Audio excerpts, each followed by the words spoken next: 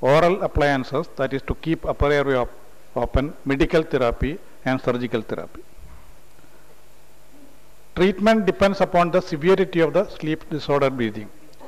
People with mild apnea have a wide variety of options. People with moderate to severe apnea should be treated with nasal continuous positive airway pressure. This is the first line treatment. Obesity is a major predictive factor for OSA. Weight loss should be recommended to overweight patient with OSA.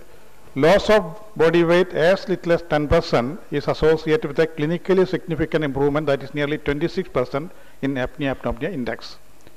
Long-term effective methods of weight reduction that is bariatric surgery and carbohydrate restricted diets are not assessed in longitudinal studies. There are some case reports and observation studies are coming up. The benefits of weight reduction are decreased respiratory disturbance index, lowered blood pressure, improved pulmonary function and arterial blood gas values, improved sleep structure and snoring, possible reduction of optimal CPAP pressure required. Avoidance of alcohol for 4 to 6 hours prior to bedtime, avoid using other sedatives not to cause apnea worse, smoking cessation, smoking increases the risk of snoring and apnea, Sno- smoking, sleeping on one side rather than on the stomach or bed, that is already mentioned, avoid sleep deprivation. These are the lifestyle modifications. There are three types of mechanical devices available for treatment. One is continuous positive airway pressure. This is the standard treatment of OSA. Second one is bi-level positive airway pressure. Third one is oral appliances. See, when you are treating the OSA, you should start from the least invasive and most effective method to the most invasive and effective. Therefore, least invasive you have to start first. That is, offer nasal CPAP therapy first to all patients. Patients with mild to severe OSA who refuse or reject nasal CPAP therapy, they can be offered BiPAP. If BiPAP also fails or is rejected, then you can recommend oral appliances. Oral appliance can be first line therapy in mild OSA if they are unwilling to try CPAP. That means oral appliance cannot be tried in moderate and severe cases, only in mild cases if they refuse CPAP treatment. Attempt all intervention to improve tolerance to CPAP before deciding it is failure. CPAP may failure, but you have to attempt all intervention to improve the compliance. Surgical options are offered only if non-invasive medical therapy, that is CPAP, BiPAP or failed. Therefore, surgical therapy should not be given first. These are the guidelines for CPAP treatment. CPAP means continuous positive airway pressure. That is like a pneumatic splint. Keep the airway open during inspiration and expiration by a pressure, fixed pressure. Uh, that I will come later on. All patients with apnea hypopnea index greater than 15 are eligible for CPAP. That means moderate to severe cases are eligible for CPAP regardless of symptomatology.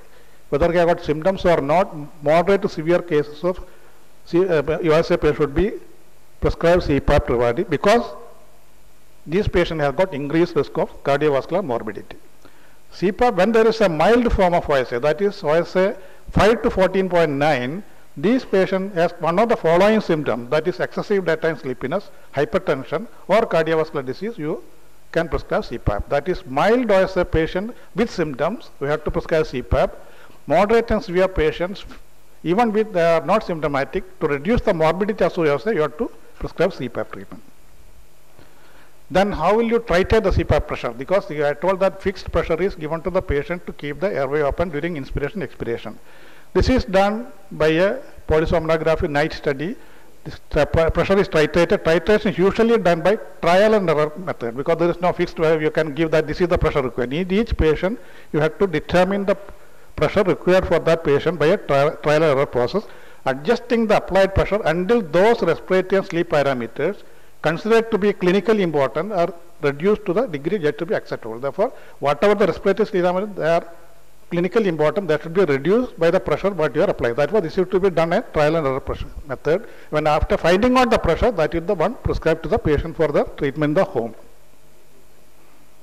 What will the outcome of the CPAP treatment? Optimal treatment of CPAP corrects OSA first. First will be corrected obstruction. Then correct the upper airway resistance syndrome. The last one is the snoring will be corrected. Not the snoring will be corrected first.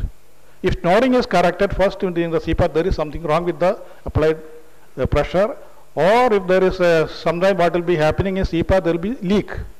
That leak will be detected as a noise in the polysomnogram, that will be detected as snoring. Therefore, you have to, if snoring is corrected, first you CPAP treatment, you have to check your device and also find what is setup. If it is CPAP treatment, OSA should correct first.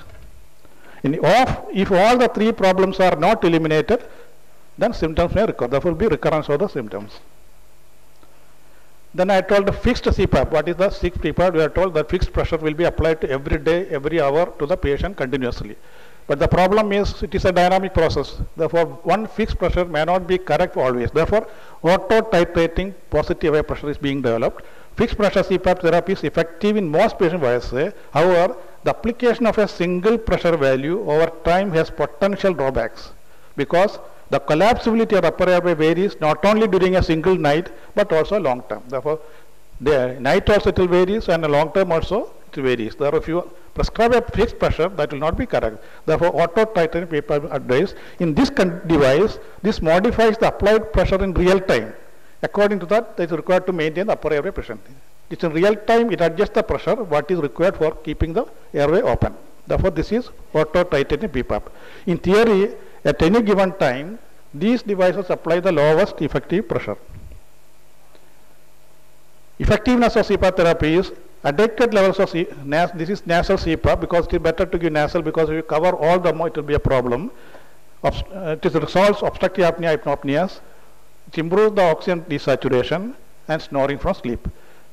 And this results in adequate sleep continuity and improves daytime sleepiness, mood, cognitive function in people with both mild and moderate uh, apnea. CPAP has also been shown to decrease blood pressure. I have shown that some of the studies have shown to reduce blood pressure, primarily in patients with severe OSA. It improves left ventricular ejection fraction in patients with congestive heart failure and OSA. CPAP plus antihypertensive modification may synergistically improve systemic hypertension. It improves right-sided heart function and pulmonary hypertension. CPAP is associated with lower risk for heart disease, stroke and diabetes. CPAP has also been shown to increase quality of life, decreases healthcare costs and reduces the mortality in OSA. The main problem with CPAP therapy is the compliance. See, this CPAP has to be applied continuously to a patient during the whole time on a long-term basis. Nobody is willing to use that. It's a mechanical device applied to the no, most of the patient during sleeping time. Therefore, compliance is the big problem. The use of CPAP for more than 6 hours decreases the sleepiness, improves daily function, restores memory to normal levels.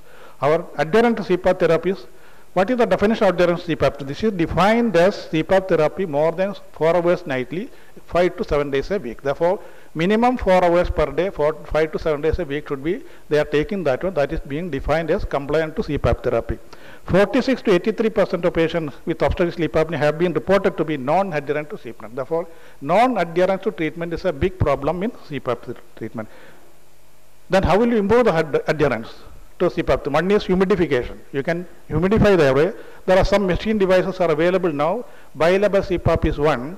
See, continuous CPAP pressure, pressure is applied during fixed pressure during inspiration, expiration. In bilevel CPAP, during the inspiration is more pressure, expiration less pressure. Therefore, pressure will be varying both during inspiration, expiration. That is both uh, inspiration, expiration. Then autopap, CPAP. Autopap is developed to vary and optimally develop CPAP throughout the night.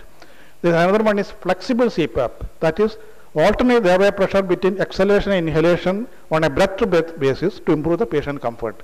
These are the modalities that have been uh, designed for improving the adherence to CPAP therapy.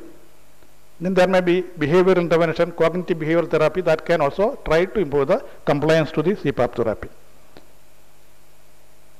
Now it is, it is the latest publication, so it is being developed some CPAP adherence tracking transmission system is being developed. This CPAP therapy is being done in the home. See, using the smart cards, SD cards, then memory virus transmission, whatever the snoring, whatever, how many hours they are using it, whether there is any leak in the system, all will be recorded and can be recorded. And we can find out whether the patient individual is using the CPAP properly. Data that can be utilized for adherence, leak, efficacy, and flow signal. This is an experimental stage, and soon it will we will get the results. What are the complications of CPAP? There is a sense of suffocation, claustrophobia, difficulty exhaling, inability to sleep, musculoskeletal discomfort, aerophagia and sinus discomfort, very rarely pneumothorax and or pneumomediastinum. There will be noise and this may lead to spousal intolerance. Then when you prescribe the BiPAP, what are the indications? CPAP delivers a constant pressure during both inspiration and expiration. BiPAP permits, permits independent adjustment of the pressure delivered during inspiration expiration. BiPAP is used in patients who cannot tolerate high CPAP pressures, who have barotrauma complication, just like um, ear infection, bloating. If CPAP level needs to be increased above 15 centimeter mercury, when higher CPAP pressure is required, then use BiPAP. It has no distinct advantage over CPAP. Therefore, CPAP is the first one. If there are some situation come, then you can use BiPAP. The next mechanical device is oral appliances. Patients with mild to moderate OSA who prefer OSA to CPAP. Sometimes if you prescribe CPAP, this mild to moderate patient may decline. Then you can uh, prescribe oral appliances who do not respond to CPAP therapy, in whom treatment attempts with CPAP has failed. Who refuse to treat or failed, they can be prescribed oral appliances. Should not be considered effective therapy for patients severe OSA. In severe OSA patient, you should not prescribe oral appliances. Oral appliances uh, act by moving the tongue forward. Tongue is moving pulled forward. That means increasing the upper airway uh, uh, uh, diameter or moving the mandible or soft palate anteriorly. Again, improving the upper airway diameter. These devices enlarge the posterior aspect. There are multiple different devices are available. There are three basic designs that are used to treat sleep related problems. One is mandibular repositioners, that is, it is anterior movement. Tongue retaining devices, again, that will not fall backward.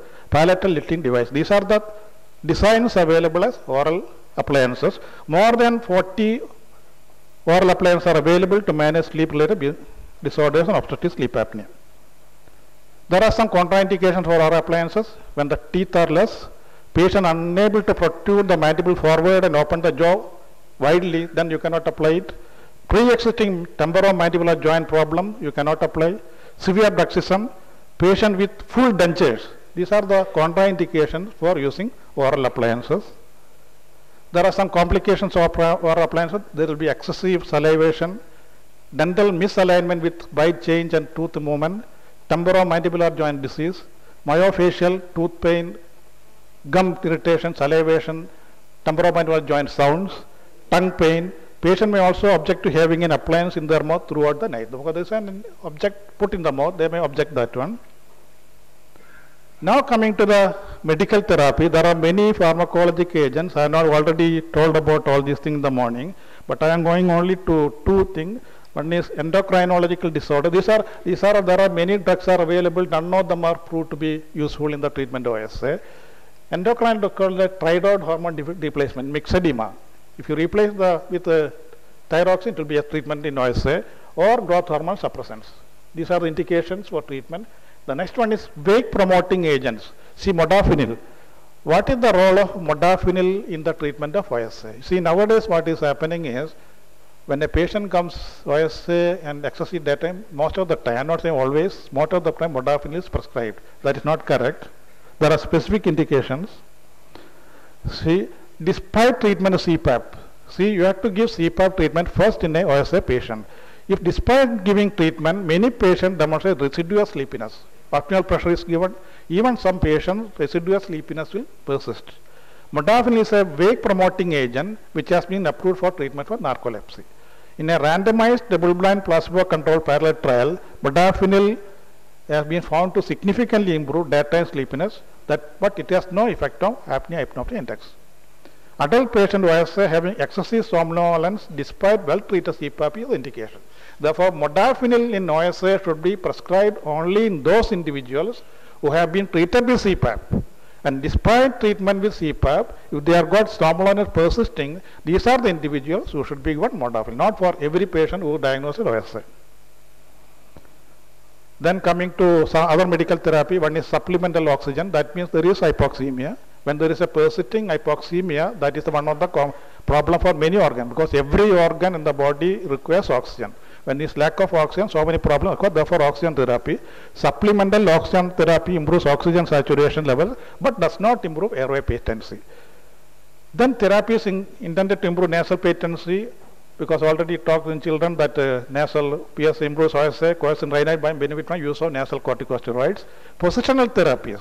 If you lie on supine position, tongue will fall back. Therefore, tell them to sleep on the side.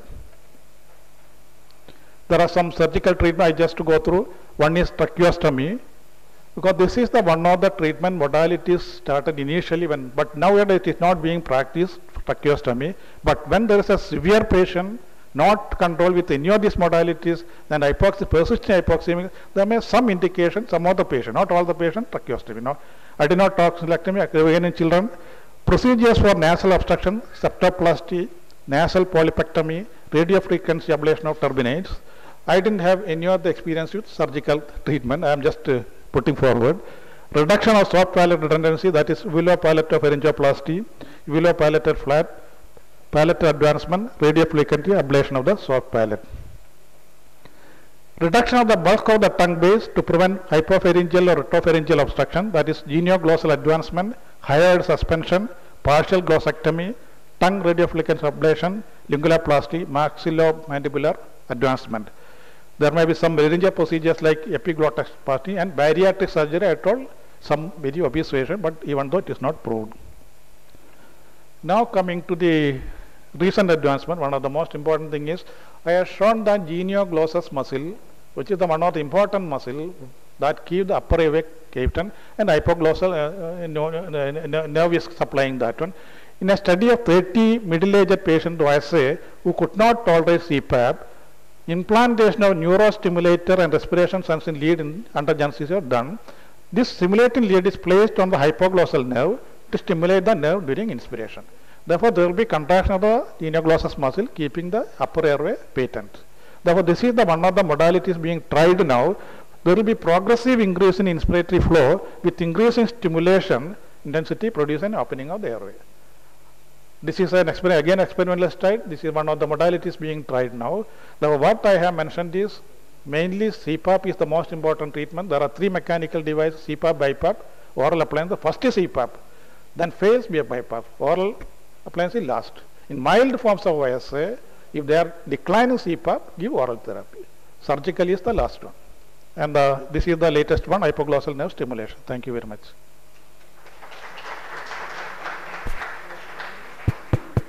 Thank you very much. Uh,